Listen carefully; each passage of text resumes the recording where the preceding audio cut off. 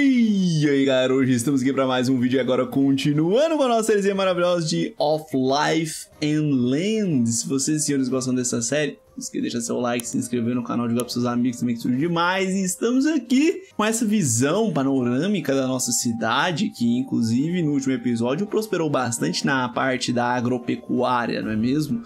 Já que agora, além da gente ter aumentado o número de hortas que a gente tem aqui, a gente também fez um rancho, temos ovelhas, estamos construindo uma fazenda, estamos fazendo um belo campo de trigo para depender menos aí do trigo selvagem.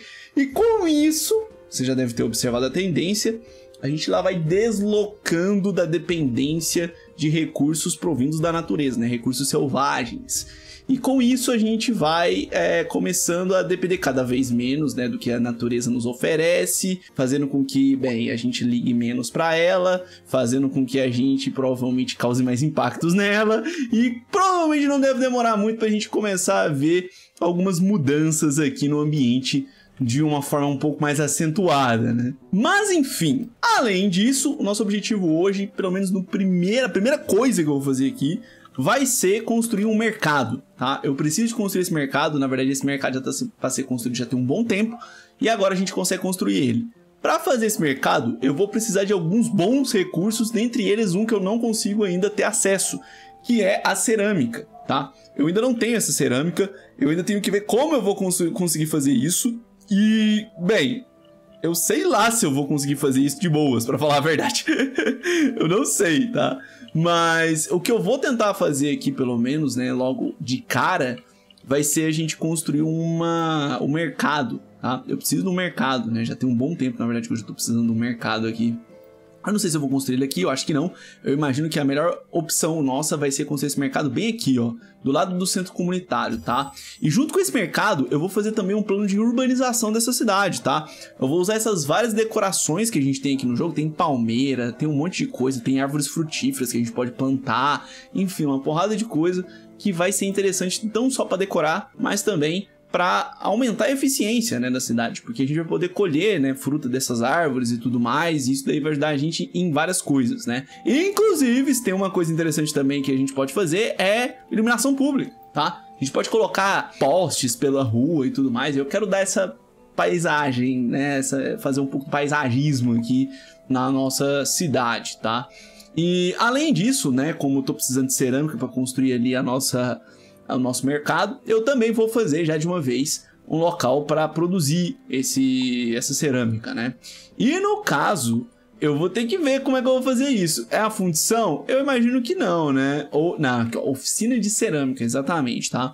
Com a oficina de cerâmica, então, a gente consegue produzir ali, como a gente pode ver ali, né? O, as, as próprias cerâmicas, né? A gente vai ter que construir ela aqui no nosso querido distrito industrial, pelo menos é o que eu estou sempre prezando aqui, né? Sempre construindo aqui essas paradas nesse distritozinho pequeno que a gente tem. Inclusive, eu vou tirar esse bagulho de confecção que eu tenho aqui.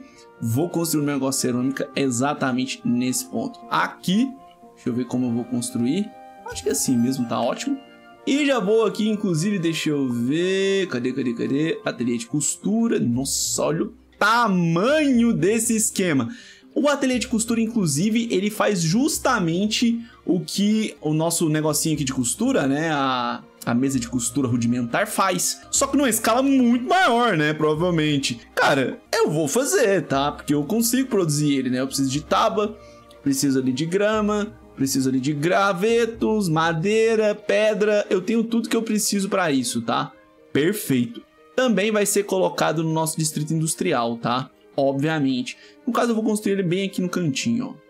Bem no cantinho aqui, sim. Acho que aqui tá ótimo, né? Perfeito. Vamos levantar ele ali, já vou construir aqui também uma estrada. Maravilha. E, bem, eu imagino que com isso a gente já consiga ter tudo que eu preciso para construir as paradas ali, né? Eu vou esperar isso aí ficar pronto e depois a gente parte para essa parte do paisagismo aí que eu tava falando para vocês, que eu acho que vai ser melhor, né? Enquanto isso, eu vou vir aqui no nosso querido menu de população, né? Inclusive no armazenamento aqui dá pra ver algumas coisas, né, cara? Apesar de que, como eu disse pra vocês, né, não existe um armazém geral e tal, pra, enfim, ficar os produtos ali e tudo mais. Mas é interessante pra gente ter um, um pouco de noção de como é que tá a situação. E, bem, até que tá tranquilo tá? Para falar a verdade. Talvez produzir um pouco mais de comida seria interessante. O que vai ser difícil agora, né? Porque a gente tá num período aqui que, bem, a gente já tá quase para entrar no inverno, inclusive, tá? Então, né? Eu não sei se vai compensar tanto eu aumentar minha população, mas os que já tá aqui, eu vou fazer um renomeamento aqui e colocar aqui o nome dos nossos padrinhos aí, dos nossos, aliás, padrinhos não, dos nossos membros do canal, tá? Como a gente lá vinha fazendo antes. Bora lá. E prontinho, coloquei todos os nomes aqui que estavam faltando, que estavam faltando, tá? Cara, coloquei nome de homem, mulher meme e tudo mais aqui, porque é difícil ficar tendo esse controle aí, tá? Mas, enfim, se você viu o seu nome aqui nessa lista, parabéns! Existe uma grande chance de você morrer no inverno de fome, mas isso é detalhe, tá? Abre espaço aí pros novos membros aí terem a oportunidade de ter seu nome aqui também. Acontece, acontece, acontece. Enfim, bora acelerar aqui então e vamos esperar, né, isso aí acontecer, essas construções aí que é a prioridade maior nossa. Inclusive, eu tô vendo aqui que existe uma pessoa com sobreaquecimento Ué, como assim? Ah, é porque a gente tá no verão, né? Então faz sentido. A galera tá super aquecida no local onde tá a fogueira. Inclusive, uma coisa que eu lá venho observando é que a temperatura em locais onde tem muita árvore, obviamente, ela é muito menor. Então, plantar árvore no meio da cidade talvez seja uma boa maneira da gente conter ondas de calor. Inclusive dá pra ver claramente, né? Perto do rio, óbvio que é mais, mais tranquilo, mas olha essa ilha de calor Dá pra ver essa ilha de frescor no meio dessa ilha de calor, né? Na verdade, a ilha de calor fica bem no meio onde a gente desmatou, né? Onde não tem sombra, basicamente. E onde tem a árvore fica um pouco mais fresco. Faz sentido, né? É uma coisa meio óbvia. Então, espalhar árvores pela cidade vai ajudar a gente bastante, tá?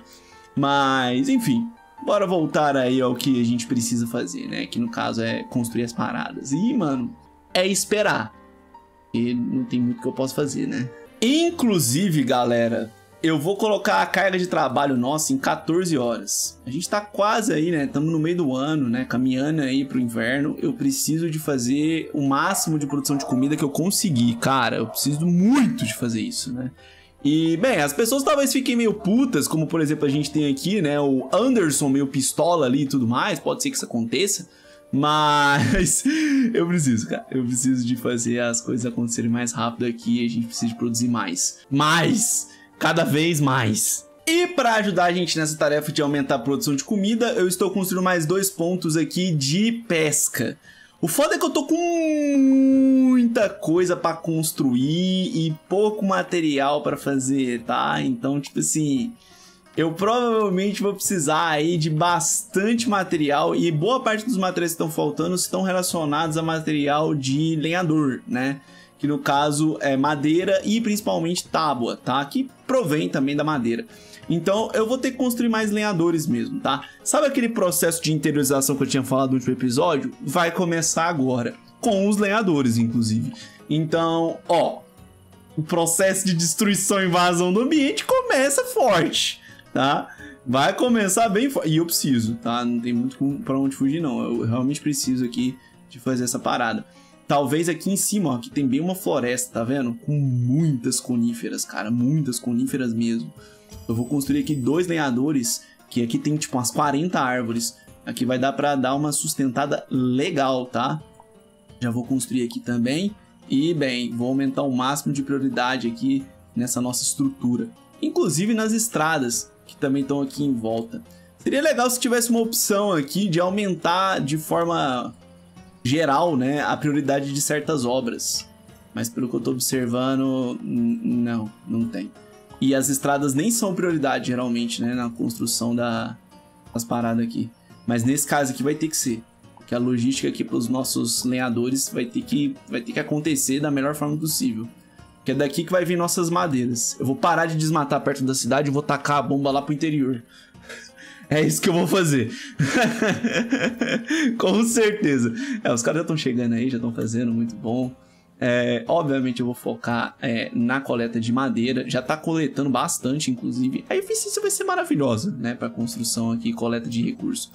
Até porque eu tô no meio da floresta, de fato. Inclusive eu tô vendo aqui que tem... Ah, tá, é só um... Eu pensei que era uma caverna isso aqui, tá? Uma entrada de caverna, mas não.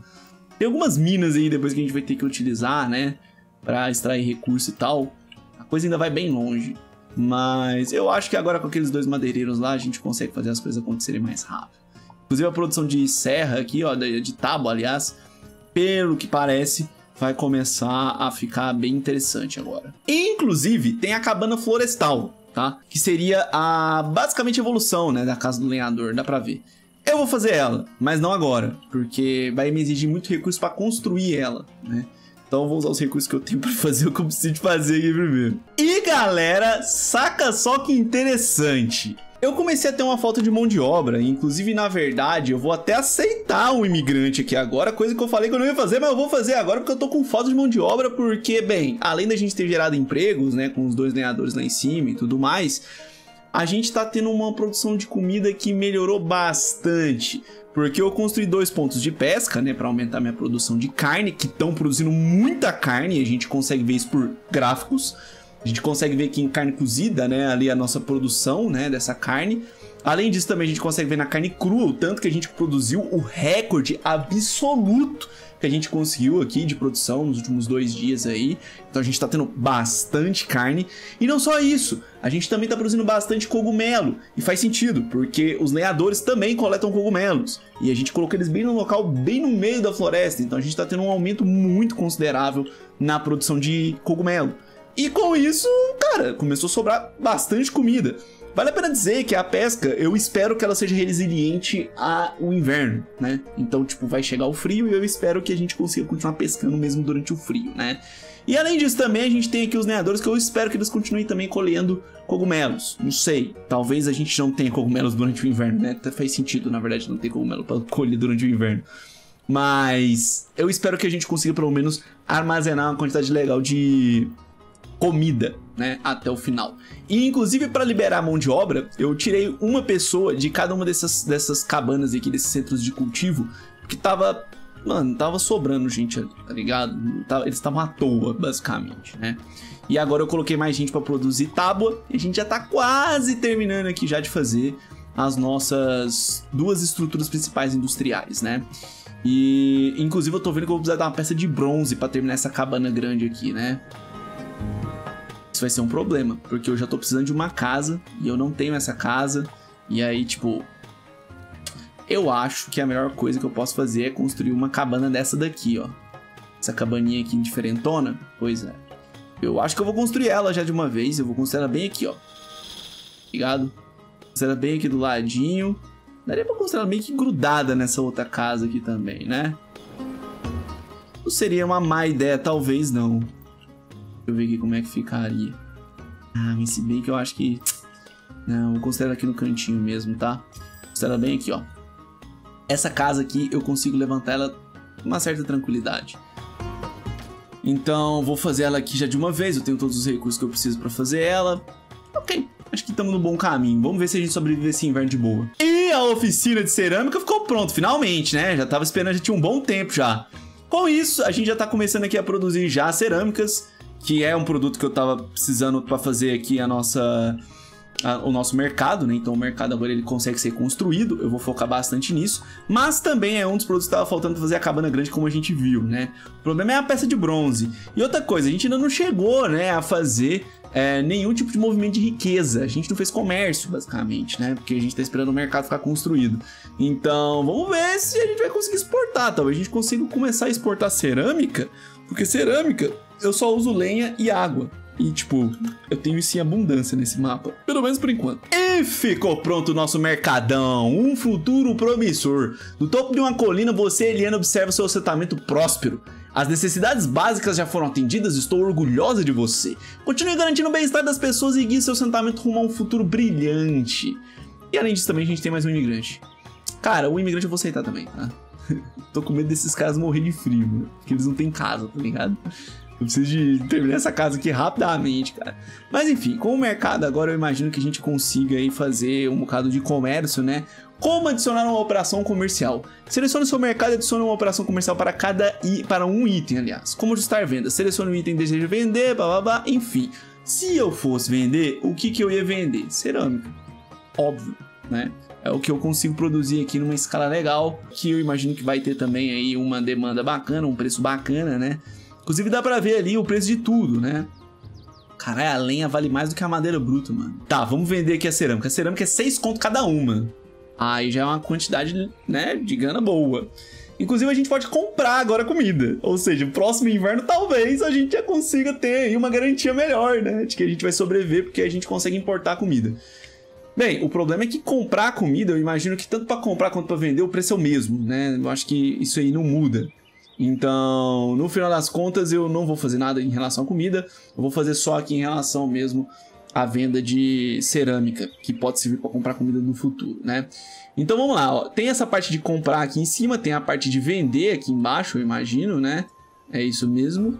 E na verdade, essa parte de vender, nosso mercado solicitará esse item internamente de nossos mercados em outros mapas até que o limite seja atingido. Hum. Perfeito! Já aprendi aqui como é que funciona. Bem dinâmico, bem simples, tá? Basicamente, isso aqui é um controle de estoque, né?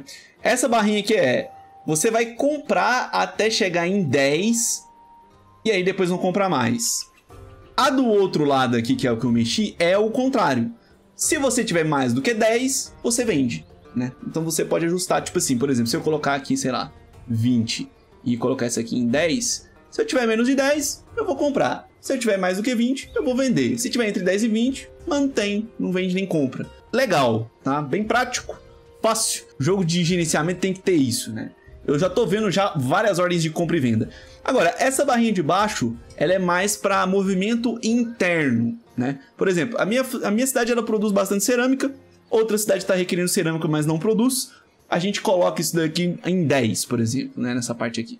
Se a nossa cidade aqui, essa cidade tiver mais do que 10, ela consegue transferir cerâmica para essa outra cidade. Aí já não é comércio, né? É uma transferência, ele não tá pagando, você tá ajudando, né? A mesma coisa nesse outro, né? Se tiver aí menos do que 10, ele vai requerir o negócio. Então, bacana, tá? Bem, bem didático, bem fácil de entender aqui a parada. Eu já tô vendo realmente um monte de ordem de compra e venda aqui para regular o mercado, né? Mas tudo depende do dinheiro. De início, eu só vou vender mesmo, porque a ideia é ter dinheiro para comprar comida durante o inverno, né? Inclusive, a gente agora tá com uma missão aqui, né? Inclusive, na verdade, deixa eu ver todos os eventos que estão rolando aqui. Estão tudo tranquilo, né? É, tão tudo tranquilo. Tô precisando de um pouco de pão aqui pra gente comemorar o primeiro ano aqui, que ainda não aconteceu, inclusive. Porque eu tô precisando de mais trigo, mais grão. E eu tô com nada de grão, na verdade, né? No estoque. Grão mesmo eu vou ter aqui, ó. Inclusive dá pra ver que o campo de trigo já tá até crescendo, né? Eu vou ter depois que eu começar a fazer essa fazenda aqui operar, né? Porque ela ainda não tá operando não, cara. E agora a gente tem cerâmica e tudo mais para fazer ela levantar, né? Então eu já vou colocar uma prioridade legal ali pra gente fazer isso daí. Então, próximas obras, o ateliê de costura e a fazenda. Ficando pronto isso daí, a gente já parte pro próximo, que é a urbanização da cidade. E o inverno chegou. É, o inverno chegou, a gente não colheu o trigo, inclusive, tá? Apesar de, bem, o inventário aqui tá falando que tem trigo ainda no, no campo ali e tudo mais, né? E, bem, os campos de pesca, ao que parece, eles vão continuar assim funcionando, até porque o rio ele não congelou, né? Então, talvez aí a gente consiga, sim, manter as coisas operando. E, inclusive, ao que tudo indica, a nossa produção de cogumelos continua acontecendo também. Dá pra ver aí o cogumelo sendo produzido aqui pelos lenhadores, né? Então a gente provavelmente não vai ter tanto problema de fome que nem a gente teve no último ano. Isso quer dizer que não vai passar fome? Ah, eu já não sei, tá? O que eu sei é que a, felicidade de alguns dos nossos moradores não tá tão legal, provavelmente porque tá faltando casa. Coisa que eu tô tentando arrumar, né? Mas eu tô precisando de tecido. Eu tô precisando de grama também, para terminar o ateliê ali, para aí sim a gente fazer tecido em larga escala. Vamos ver se eu consigo fazer isso mais rápido. Vou colocar aqui o nosso centro de coleta para botar uma prioridade bem legal aqui, né, na coleta de grama. Vamos ver se eu consigo acelerar esse processo. Boa parte da minha comida não tá vindo mais de centros de coleta no final das contas, né? Estão vindo de lenhadores e pontos de pesca. A galera tá comendo proteína pra caramba. Então, isso para mim é ótimo, porque aí a gente consegue botar os centros de coleta para focar na indústria têxtil, que faz de grama o nosso tecido. E eu ainda tô tendo um monte de roubo, principalmente gato roubando no ponto de pesca. Faz sentido, né? Gato querer um peixinho do ponto de pesca. Mas eu tô achando que esses gatos aí vão ter que vapo logo mais, tá? Se eu for dar uma observada aqui para ver como é que tá o censo dos gatos, né, para ver como é que esses gatos estão proliferando, eu te garanto que eles estão começando a ter uma explosão populacional, cara. com certeza. E tá mesmo. Estão subindo bem, viu? Estão subindo legal. E isso não é bom, não. Ah, e tem a cabana de caça, que também tá funcionando. E, inclusive, falando de caça, foi até bom a gente ter comentado disso. O que acontece? A gente pode escolher o tipo de animal que a gente vai caçar. Infelizmente não dá pra caçar gato. E realmente, né? Caçar gato é tipo uma das coisas mais ineficientes que tem, porque gato é muito esperto, é difícil de caçar, né? E não produz tanta coisa, se for parar pra pensar. Mas. Ratos, veados vermelhos, guaxinins e qualquer outra coisa aqui, meu amigo. Ah, isso daí eu vou. Inclusive, nossa população de peixe tá caindo, tipo assim, de forma brutal. Eu julgo que seja porque a gente tá fazendo uma pesca bem ostensiva no rio. Só espero que não entre em extinção mesmo. Inclusive, a gente tá caçando apenas no momento aqui lebre. Só lebre. Ah, dá pra caçar rato sim. Agora que eu vi. Pô, perfeito. É isso que a gente vai fazer. Vou caçar gato. Óbvio. Guaxinim também, rato também. Ó, tirando a, o veado vermelho, que realmente ele não causa nenhum dano na nossa cidade, mas provavelmente deve ter uma escala de produção de comida, né, e pele e tal, legal, porque é um bicho grande e tal, selvagem. O gato, guaxinim, rato e lebre são tudo praga, tá? Eles estão proliferando num nível assim absurdo com a nossa cidade. Então, caçar eles é quase pegar de volta a comida que eles estão roubando no armazém, tá ligado? e ficou pronto o nosso querido ateliê de costura, tá? Inclusive, eu estou precisando já há algum tempo de fazer lã. E o pior é que eu meio que tenho ovelha, né? E eu consigo coletar elas, né? Só que demora para colher. Esse é o problema, demora bastante, tá? Mas a gente tem, dá para ver aqui claramente, ó, a gente tá até ali já é, tendo uma produção. Produção ontem. Deixa eu ver aqui, na verdade, quanto de, de lã eu tenho, né? Nenhuma. A gente acabou de usar tudo. Provavelmente eu transformei tudo em tecido e já foi usado aí nas nossas obras. Tanto que, na verdade, eu já até acabei também a nossa cabana pequena. Acabou agora, inclusive, a obra dela, tá? Mas a gente tá começando, já tá quase terminando a fazenda aqui também, né? Fazendo essa fazenda aqui e terminando ela, eu vou destruir esse centro de cultivo que a gente tem aqui. Pelo menos a ideia é essa, tá? Eu quero passar ele pro interior, assim como a gente fez também com os lenhadores, tá? E aí a cidade vai tomando um ar um pouco mais urbano mesmo, né? Com tirando essas coisas daqui de dentro, eu vou deixar só uma para colher frutas frutíferas que a gente for colocar e coisa do tipo. Mas a maioria vai pro interior mesmo, tá? Não vai rolar ficar mantendo isso daqui não. Mas, por outro lado, a gente não vai passar fome pelo que eu tô observando não, tá? A gente tá muito bem de comida, cara. Tipo assim, não bem, bem, bem a ponto de desperdiçar comida, mas estamos muito bem. Inclusive, na verdade, a gente acabou de fazer aqui a, a fazenda, né? Inclusive dá até pra coletar grama também, que eu vou colocar. Se não tiver mais nada para fazer aqui, a gente coleta grama, né? Mas tá faltando mão de obra, né? A verdade é essa. E eu vou até colocar algumas pessoas aqui que estão com um nível relativamente decente de trabalho para trabalhar na fazenda para ver se eu consigo coletar o grão que em tese está aqui, ó. Dá para ver que tem grão ainda, tá? Nos nossos campos de trigo. E tem mesmo, eles estão colhendo lá, ó. A gente perdeu um bocado da safra, era 60, foi para 48, mas ainda tem bastante, tá? E com isso, ó, a gente começou a produzir bastante grão de cereal. Com isso, a gente vai começar a produzir bastante pão, né? E com pão a gente consegue alimentar todo mundo sem muitos problemas. Essa é a minha expectativa. Eu vou destruir aqui agora essa estradinha que eu fiz aqui, porque eu quero construir nesse local aqui uma padaria nova, tá? Na verdade, é bem provável que não vai demorar muito tempo eu ter que construir uma padaria de verdade, né? Um negócio grandão mesmo, né? Porque a gente até tem, na verdade, a padaria para fazer. E digo mais, né? A gente tem condição de construir ela. eu acho que eu vou construir ela, cara. Eu acho que eu vou construir essa padaria aqui. Aonde ela vai ficar, cara? Hum, pô, ela é muito grande, né? As estruturas, elas estão começando a ficar bem grandes. Cara, seria bacana se eu colocasse ela no centro da cidade, talvez, bem do lado aqui da nossa desse desse prédio que a gente tá fazendo aqui, ó.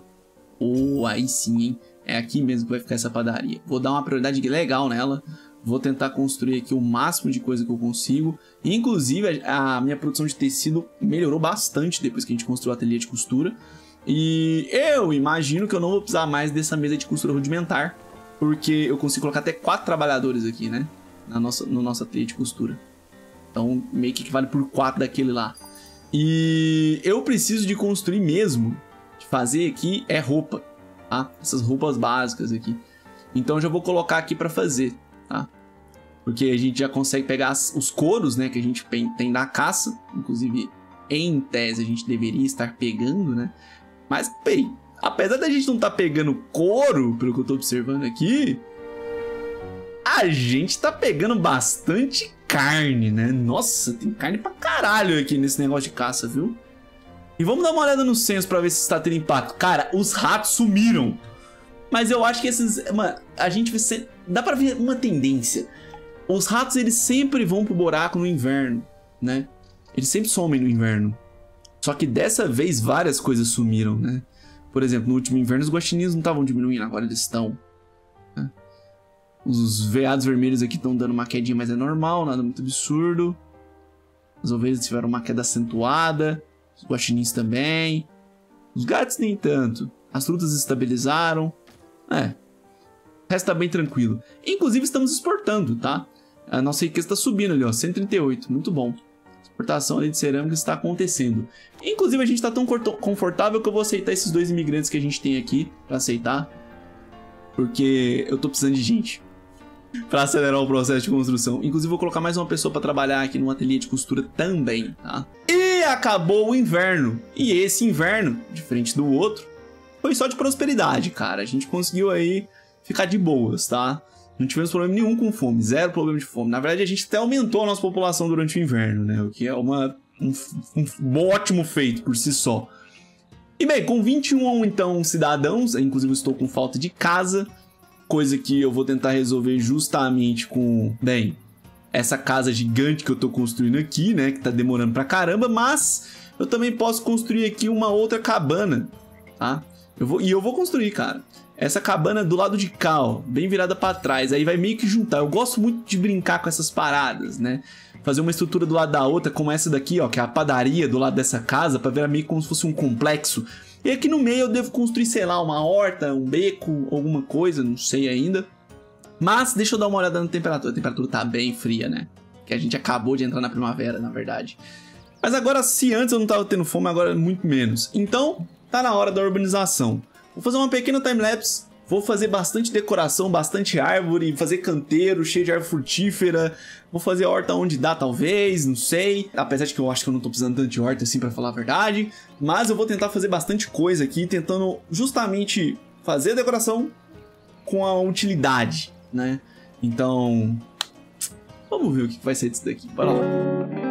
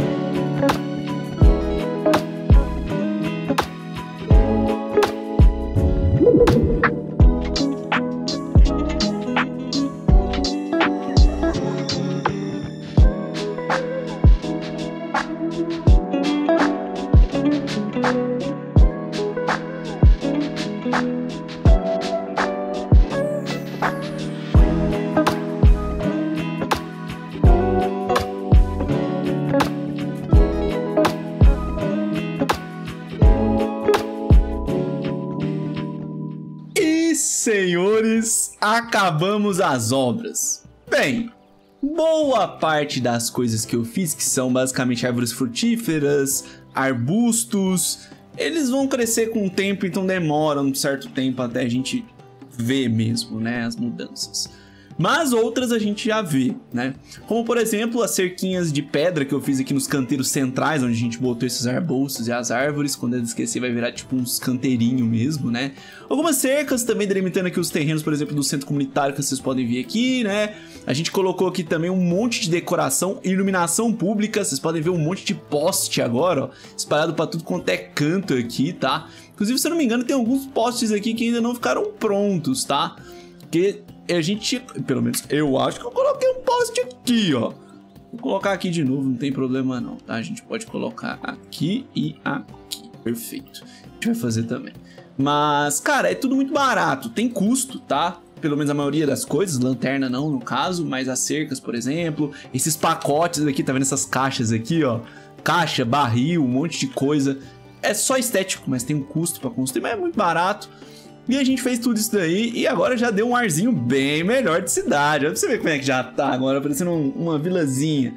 E além disso também, esses canteiros e essas árvores que a gente plantou, além de produzir comida, né, frutas e tudo mais, elas também vão acabar trazendo pra gente ilhas de refrescância, sombra, né? E essa sombra vai reduzir as ilhas de calor, na verdade, né?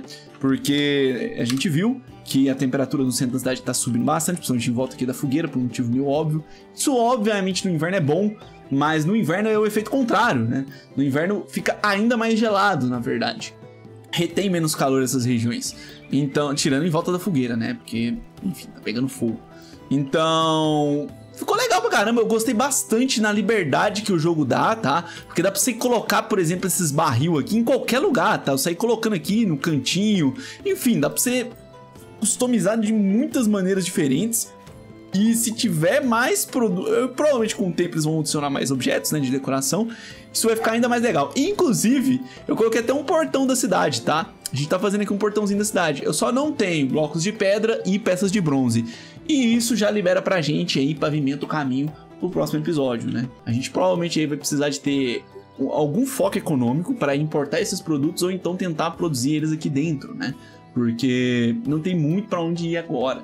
Inclusive, continuar a interiorização de algumas coisas, como a produção né, de, de frutas, de grama, né? E, e, também de madeira. Continuar esse processo de interiorização desses produtos aí. Mas enfim, vou encerrar esse vídeo aqui. Se vocês gostaram, por favor, deixe seu like, se inscrever no canal, de para seus amigos, tem isso demais. E é nóis! Bora dar a próxima, tamo junto e fui!